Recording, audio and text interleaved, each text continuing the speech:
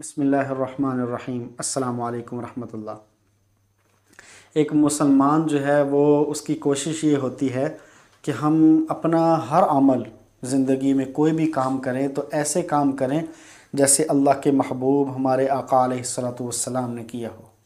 آپ صلی اللہ علیہ وسلم کی سنتوں کو، ان اداؤں کو ویسے دہرانے کی کوشش کریں، نقل کرنے کی کوشش کریں کہ اللہ تعالیٰ کے محبوب تو آپ علیہ الصلاۃ والسلام ہیں۔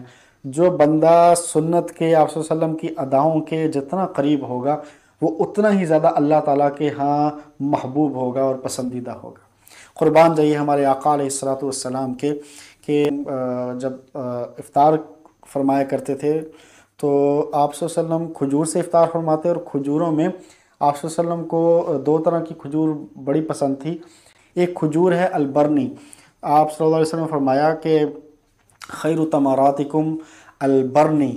تمہاری بہترین کھجوروں میں سے بہترین کھجور جو ہے وہ البرنی ہے کہ یخری جو دا ولا دا آفی جو بیماری کو جسم سے نکال دیتی ہے اور اس کے اندر کوئی مضر اثرات بھی نہیں ہیں۔ اسی طرح اجوا کھجور جو ہے وہ ہمارے آقا علیہ السلاۃ والسلام کو بہت محبوب تھی، بڑی مرغوب تھی۔ اجوا کھجور کے بارے میں آپ صلی اللہ علیہ وسلم نے فرمایا کہ جو سات دانے روزانہ کھاتا ہے صبح کے وقت تو اس کے اوپر نہ جادو اثر کرتا ہے، نہ اس کے اوپر زہر اثر کرتا ہے۔ تو کھجور کے اندر وہ طاقت اتنی زیادہ ہوتی ہے کہ قوت مدافعت بہت زیادہ پیدا ہو جاتی ہے انسان کے جسم میں، جس کی وجہ سے اس کی صحت اچھی ہوتی ہے۔ اور جو صحت مند آدمی ہوتا ہے، اگر قلیل مقدار کے اندر زہر بھی اگر اس کے جسم میں جائے تو ڈاکٹر کئی کہتے ہیں، ہم زہر سے بھی علاج کر سکتے ہیں۔ اور کئی دفعہ انسان سانپ کے زہر سے نہیں مرتا، صرف ڈر کی وجہ سے مر جاتا ہے۔ تو اس پر زہر بھی اثر نہیں کرتا ہے، یہ حدیث پاک میں آتا ہے۔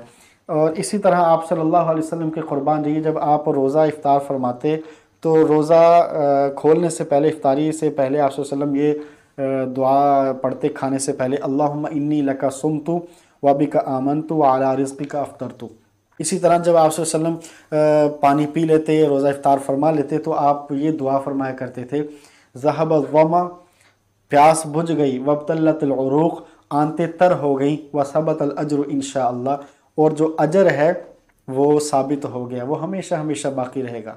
جو مشقت ہے، وہ تو ختم ہو جاتی، اجر باقی رہ جاتا ہے۔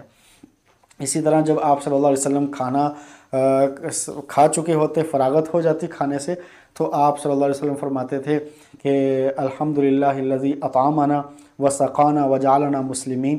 یہ دعا فرماتے تھے۔ اور جب دسترخوان جو ہے وہ اٹھا لیا جاتا تھا، تو آپ صلی اللہ علیہ وسلم کے قربان جی ہر موقع پر آپ نے دعا سکھلائی، اپنے رب کو یاد کرنا سکھلایا، آپ فرماتے تھے الحمد للہ حمدن کثیر طیبا مبارکہ. تو آپ صلی اللہ علیہ وسلم کی یہ جو مسنون دعائیں ہیں، عادات ہیں، ان کو اگر ہم اپنائیں گے تو ہماری دنیا بھی اچھی بنے گی، آخرت بھی اچھی بنے گی، ہم دنیا میں بھی کامیاب ہوں گے، آخرت میں بھی کامیاب ہوں گے۔ واخدہ الحمد للہ رب العالمین۔